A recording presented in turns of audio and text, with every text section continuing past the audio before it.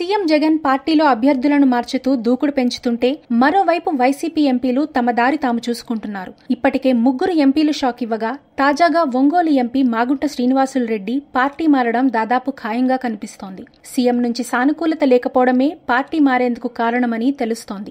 గత ఎన్నికల సమయంలో టీడీపీ నుంచి వైసీపీలోకి వచ్చి ఒంగోలు ఎంపీగా విజయం సాధించిన ఆయన ఇప్పుడు అదే పార్టీకి రాజీనామా చేసే యోచనలో ఉన్నారు. సీఎం తీరుతో విసిగిపోయినందుకే ఆయన పార్టీ మారుతున్నట్టు జిల్లా నేతలు తెలుపగా ఒంగోలు జిల్లా మొత్తాన్ని ప్రభావితం చేయగల మాగుంట రాజీనామాతో ఏడు అసెంబ్లీ సెగ్మెంట్లలోనూ పార్టీకి ఇబ్బందికర పరిస్థితులు అవుతాయని అంటున్నారు. అయితే మాగుంట శ్రీనివాసులు రెడ్డి టీడీపీలో చేరే అవకాశం ఉంది. ఢిల్లీ నుంచి గల్లీ స్థాయిలో పలు పార్టీలతో మాగుంటకు సన్నిహిత సంబంధాలున్నాయి. ఆయన తొలిసారి ఎంపీగా పంతొమ్మిది వందల తొంభై ఎనిమిదిలో కాంగ్రెస్ నుంచి విజయం సాధించారు. ఆ తర్వాత రెండు వేల నాలుగు రెండు వేల తొమ్మిదిలో విజయం సాధించారు. రెండు వేల పద్నాలుగులో స్వల్ప ఓట్లతో ఆయన వైవి సుబ్బారెడ్డిపై ఓడినా తిరిగి రెండు వేల పంతొమ్మిదిలో వైసీపీ నుంచి విజయం సాధించారు. గత కొద్ది రోజులుగా వైసీపీలో ఒంగోలు వ్యవహారం రచ్చకు కారణమవుతోంది. మాజీ మంత్రి ఎమ్మెల్యే బాలినేని శ్రీనివాసరెడ్డికి మాగుంటకు మంచి సంబంధాలున్నాయి. మాగుంట తనయుడు రాఘవరెడ్డి ఒంగోలు పార్లమెంటు పరిధిలో పర్యటిస్తూ